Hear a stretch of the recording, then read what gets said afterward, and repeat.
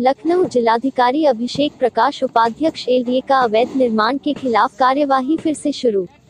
Dragon माल पर फिर से चला एलडीए का बुलडोजर। हाई कोर्ट के हस्तक्षेप के बाद रुका था लखनऊ विकास प्राधिकरण का बुलडोजर। कोर्ट से रिलीज़ न मिलने के कारण फिर से लखनऊ विकास प्राधिकरण की कार्यवाही शुरू। लखनऊ विकास प्राधिकरण की ड्रैगन माल के ऊपर प्रभावी कार्यवाही शुरू।